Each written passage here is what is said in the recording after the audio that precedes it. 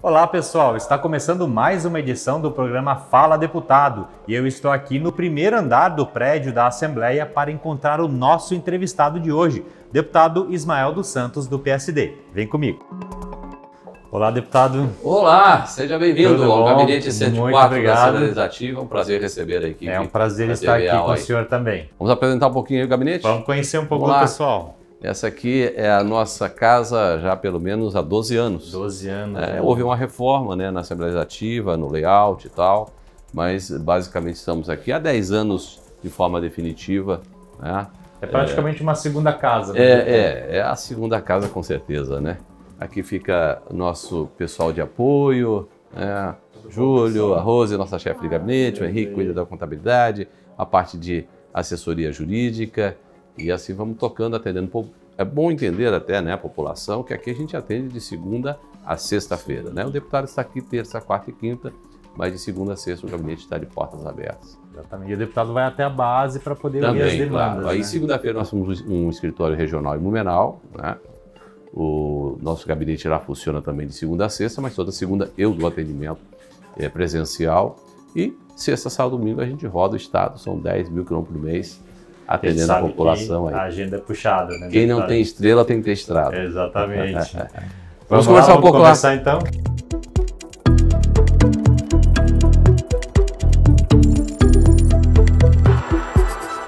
Deputado, obrigado por nos receber aqui no seu gabinete, apresentar sua equipe e participar do nosso programa. Satisfação é nossa, Gutierrez, receber toda a equipe e poder falar um pouquinho do nosso dia a dia parlamentar.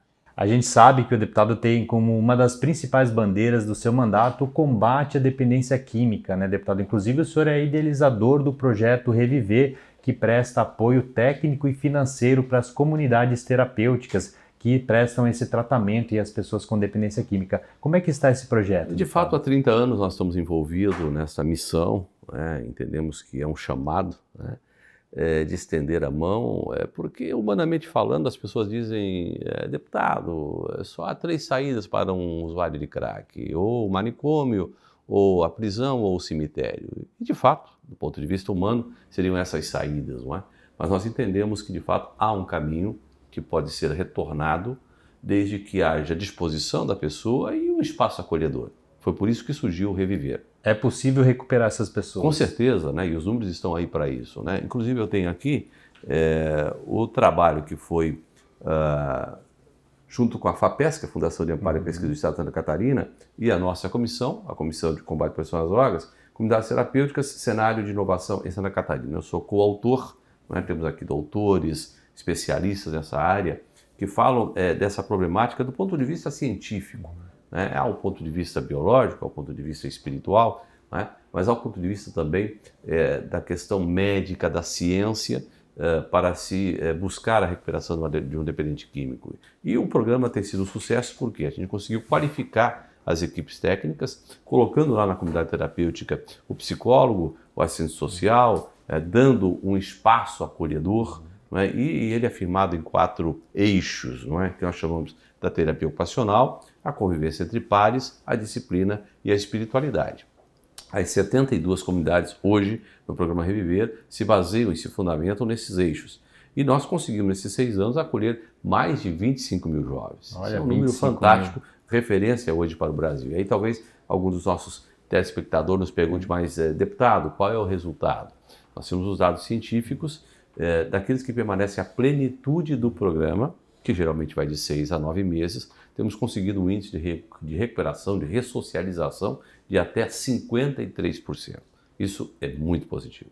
Antes da gente começar a gravação, o deputado mostrou aqui o leãozinho do Proerd, é, né? Inclusive, é o nosso mimo aqui. Proerd ele é um programa da Polícia Militar contra as drogas, né, contra a dependência química, que agora o gabinete do deputado Ismael também está apoiando. É, nós vimos o Proerd nascer, né? Vamos lá, mais de 20 anos, e é bom lembrar, são mais de 2 milhões de alunos da rede pública e da rede privada em Santa Catarina de educação que passaram pelo ProER. O ProER é uma espécie de uma injeção né, que se dá nas nossas crianças, nossos adolescentes, para que estejam prevenidos para o risco, para a cilada das drogas. E hoje é, nós temos a satisfação de ter uh, na nossa equipe do gabinete, em especial na nossa comissão de combate à prevenção às drogas, da qual eu sou presidente, um dos uh, mentores do PROED de Santa Catarina, que é o subtenente Claudio Wolff, que trouxe, uh, na verdade o PROED veio dos Estados Unidos, chegou a São Paulo primeiramente, e o, o Cláudio, é, é, juntamente com outros amigos, foram até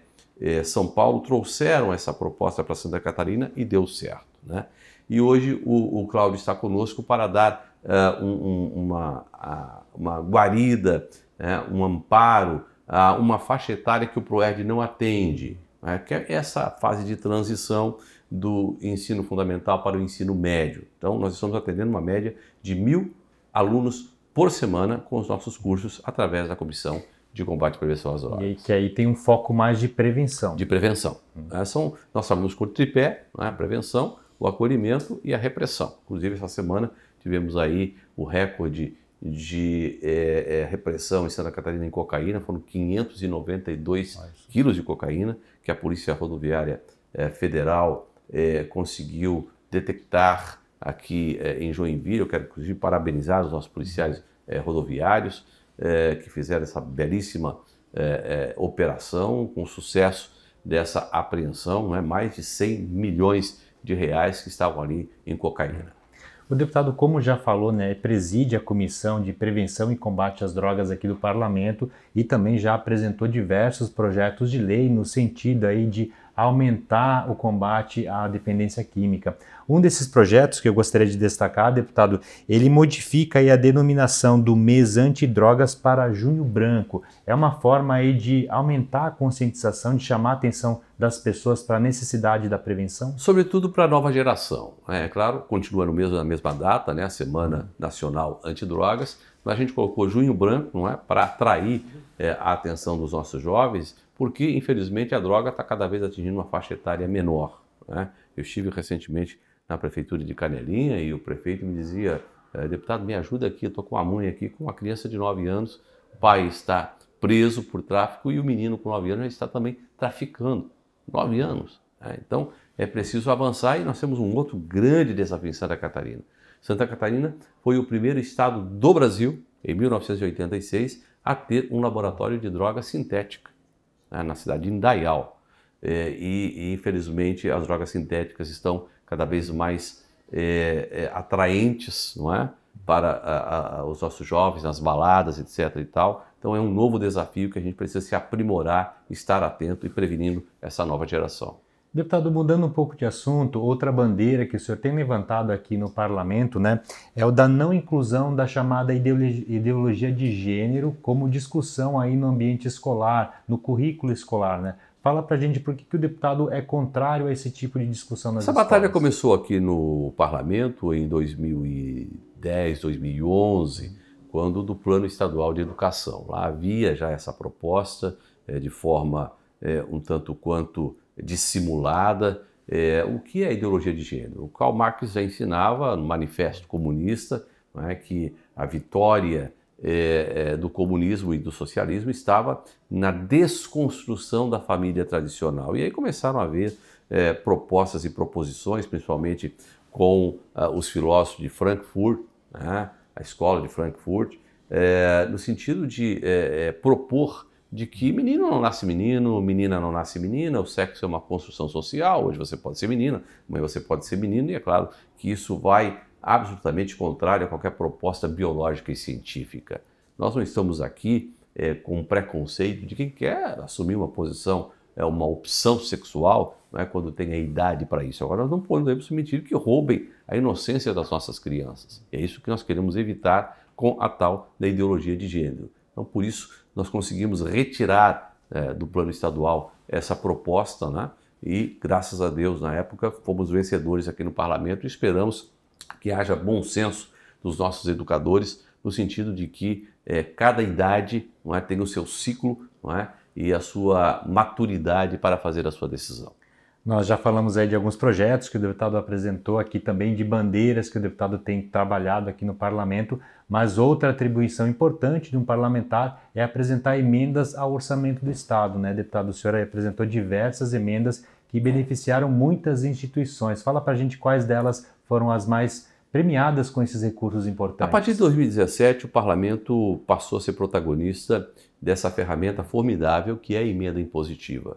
Né, para que os nossos amigos entendam, quem não tem muita intimidade com o assunto do orçamento do Estado, é 1% do orçamento do Estado fica à disposição dos 40 deputados para que possam remanejar para municípios diferentes. Até então eram 70 municípios e agora eh, acima de 100 municípios a gente pode contemplar. No ano passado a gente contemplou 154 municípios através do Gabinete 104, eh, com mais de 20 milhões eh, de reais, buscando atender, principalmente na área da saúde, da educação e da infraestrutura ou mobilidade urbana.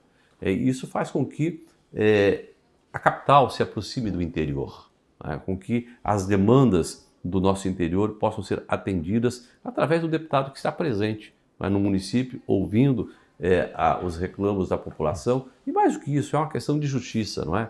O cidadão catarinense que paga o seu imposto quando compra uma caixinha de fósforo, ele paga o imposto. Que esse retorno, que esse, que esse imposto possa retornar na forma de obras, de entregas, não é? é, de, de, de, de, questões práticas que às vezes o poder público estadual acaba esquecendo e deixando na periferia. Então, essa é a proposta da emenda impositiva: fazer com que de fato os reclames da população sejam atendidos de forma mais imediatas e mais próximas através do deputado. O deputado muitas vezes percorre mais o Estado e tem a oportunidade de ouvir mais demandas, né, de ver de perto as necessidades da população. E eu gostaria de falar nesse assunto, deputado, porque no início da entrevista, na, na entrada, o senhor falou que tem percorrido muitos municípios aqui do Estado. A sua equipe já me disse que o senhor mesmo falou que foram 10 mil quilômetros rodados por mês. Isso, tá isso nos últimos média? 12 anos, né? essa é a média. A gente faz uma média de 100 mil quilômetros por ano, né? buscando visitar comunidades terapêuticas, associações, prefeituras, Câmara de Vereadores, igrejas, eh, educandários, enfim, estamos presentes eh, e, e, sobretudo, no final de semana. É muito importante dizer isso, né? Porque alguém pergunta, mas visitar a prefeitura e Câmara de Vereador no sábado e domingo? Sim.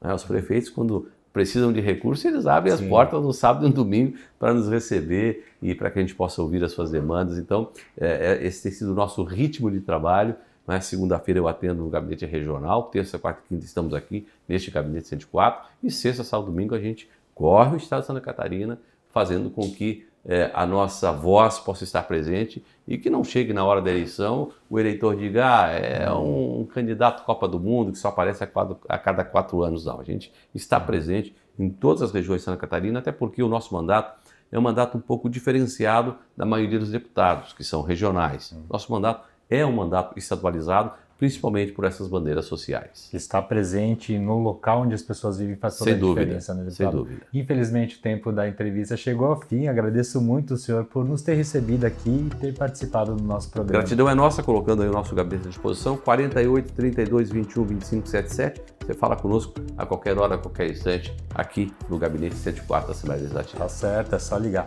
Obrigado, deputado. Forte abraço. Obrigado a você também que nos acompanhou até aqui. Não se esqueça que para rever este ou outros programas, basta acompanhar a programação da TVA ou então acessar o nosso canal no YouTube. Até a próxima!